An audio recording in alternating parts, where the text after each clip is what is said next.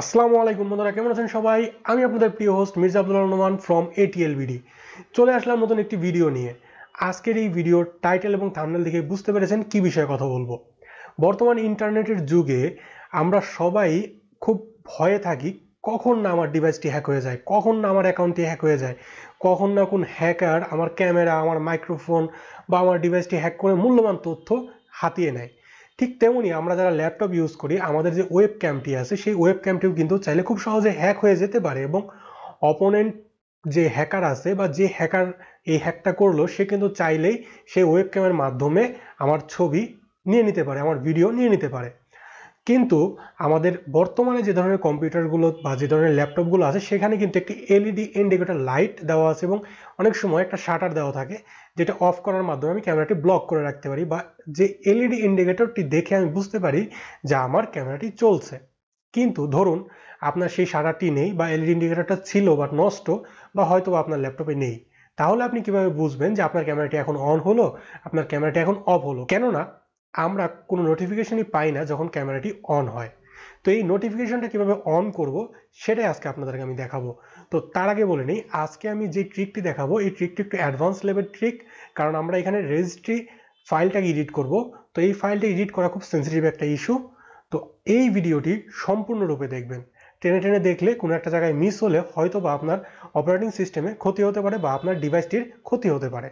তো রিকোয়েস্ট রইল, অবশ্যই এই ভিডিওটি পুরোপুরি দেখে দেন ট্রিকটি কাজে লাগাবেন। আর ট্রিকটি আশা করি ভালো লাগবে। তো বন্ধুরা, চলে যাচ্ছি আমাদের কম্পিউটার স্ক্রিনে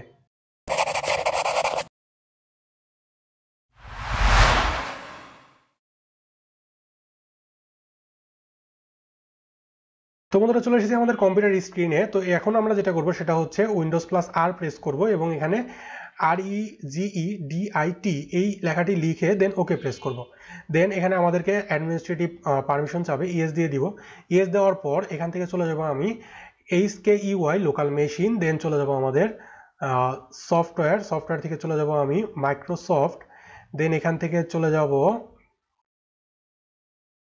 ও এম ই ও এমই থেকে যাওয়ার পরে চলে যাব ডিভাইস ডিভাইসের পরে চলে যাব ক্যাপচার তো এখানে ক্যাপচার আসার পর দেখুন আমার এখানে ডিফল্টের পরে লেখা আছে নো ফিজিক্যাল ক্যামেরা এলইডি তো এই জিনিসটা যদি আপনাদের না থাকে, সেক্ষেত্রে কি করবেন? তো আমি জাস্ট একটা রিনেমের থ্রুতে আমি নামটা কপি করে নিচ্ছি দেন এটা আমি ডিলিট করে দিচ্ছি।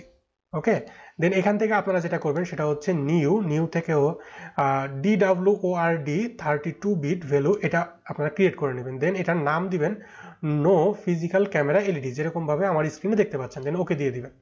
এরপর এটা ডাবল ক্লিক করে যদি ওকে অন করি, তো এর আগে আমি আমার ডিফারেন্সটা একটু দেখাই। ডিফারেন্সটা হচ্ছে, এখন যদি আমি আমার ক্যামেরা অ্যাপটি ওপেন করি, তখন আপনারা যেটা দেখতে পাবেন সেটা হচ্ছে, দেখুন আমার ক্যামেরা অ্যাপটি ওপেন হচ্ছে এবং ক্যামেরাটি রানিং তো ক্যামেরাটি রানিং হওয়ার ফলেও কিন্তু আমার কোনো নোটিফিকেশন এখানে আসেনি। আর আমি এটা ক্লোজ করে দিচ্ছি, এখনও কোনো নোটিফিকেশন আসেনি।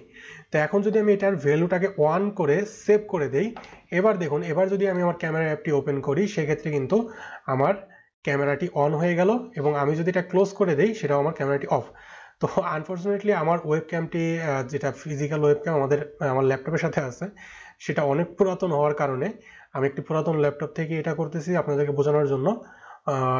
ওয়েব ক্যামটির রেজলিউশন একদমই বাজে। তো যাই হোক, এইভাবে কিন্তু আমরা চাইলে এই নোটিফিকেশনটি অ্যাক্টিভ করতে পারি। যখনই আমার ক্যামেরাটি অ্যাক্টিভ হয়ে অন হবে তখন এখানে ক্যামেরা অন এই নোটিফিকেশনটি হবে আসবে এবং যখন আমি এটা ক্লোজ করে দেবো, ক্যামেরা অফ এই নোটিফিকেশনটি আসবে। তো এরপরে যদি আপনারা চান যে না, এই নোটিফিকেশনটি আপনি অফ করে দিতে চাচ্ছেন, সেক্ষেত্রে জাস্ট সিম্পলি এই ফাইলটাতে চলে আসবেন এবং ডাবল ক্লিক করবেন দেন এখানে জিরো দিয়ে দিবেন। দেন ওকে তাহলে কিন্তু আর আপনার নোটিফিকেশনটি আর এখানে শো করবে না। ধন্যবাদ বন্ধুরা, মনোযোগ সহকারে আজকের ভিডিওটি দেখার জন্য এবং আশা করি এই ভিডিওটি আপনাদের অনেক উপকারে আসবে এবং আপনি চাইলে আপনার বন্ধুদেরকে শেয়ার করেও তাদেরকে একটু হেল্প করতে পারেন। তো বন্ধুরা, পরবর্তী ভিডিওতে আপনাদের সাথে আবারও দেখা হবে। সে পর্যন্ত ভালো থাকবেন। টিল দেন টেক কেয়ার আল্লাহ হাফেজ।